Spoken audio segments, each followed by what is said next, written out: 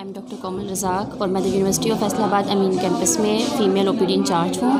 اور مجھے یہاں پہ کام کرتے ہوئے ایک سال ہو گیا ہے اور جو موسٹلی ہمارے پاس پیشنٹس آ رہے ہیں، ان کا میجر ریزن یہ ہے کہ وہ موٹاپے کا شکار ہیں، جس کی وجہ سے ان کی کمر درد اور گھٹنوں کا درد شروع ہو جاتا ہے۔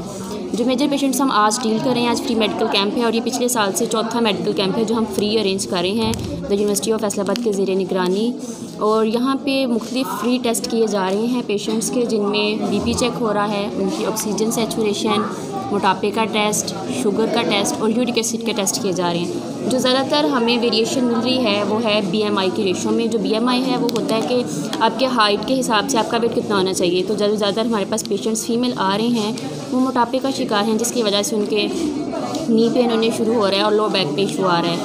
تو ہمیں جو ہے کافی ساری میڈیسن بھی اسپانسر کی گئی ہے۔ تو ہم ان کو ان کے ڈیزیز کے لحاظ سے میڈیکل جو ہیں وہ میڈیسن ریکمینڈ کر رہے ہیں۔ اور اس کے علاوہ یہاں پہ جو ہیں فزیشین ہیں ایم او ہے آپٹومیٹری کے ڈاکٹر بیٹھے ہوئے ہیں، اس کے علاوہ ڈینٹسٹ ہیں۔